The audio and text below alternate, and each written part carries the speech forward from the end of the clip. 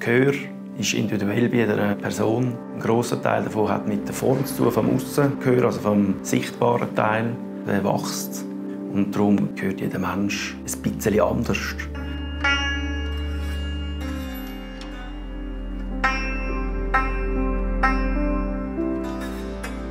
Unsere Ohren wachsen das Leben lang. Man weiß nicht genau warum. Es gibt eine Theorie, dass man sagt, weil das Gehör ja über die Jahre schlechter wird, dass darum die Gehörmuschel grösser wird und mehr einfangen. Das Gehör an sich ist ja etwas, was man mal schlichtweg einfach hat. Dann wir als Stimmer, wir üben natürlich Stimmen üben. Wir üben, wie man auf die richtigen Frequenzen lässt und die richtig stimmt. Es ist eigentlich eine reine Trainingssache. Jeden Tag üben, jeden Tag sich auf das konzentrieren. Es ist eine Konzentrationsfrage, schlussendlich. Man kann aber an sich eigentlich die Hörleistung nicht verbessern durch das. Man kann einfach lernen, aufs Richtige hören.